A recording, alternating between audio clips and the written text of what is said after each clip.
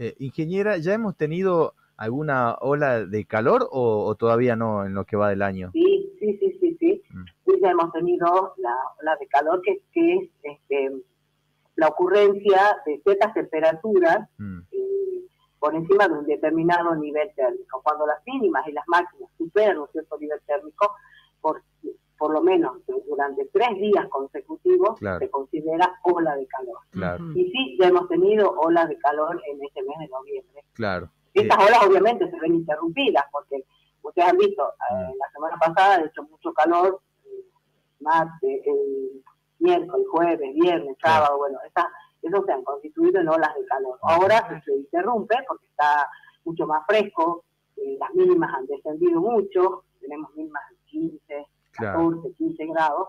Cuando las mínimas son superiores a 20 grados, empezamos a, ver qué es lo que está pasando. eh, por supuesto, no es que no va a haber temperaturas altas, las hay, pero cuando supera un cierto límite, 36 grados, para Perico, por ejemplo, ya constituyó la de calor. Mm.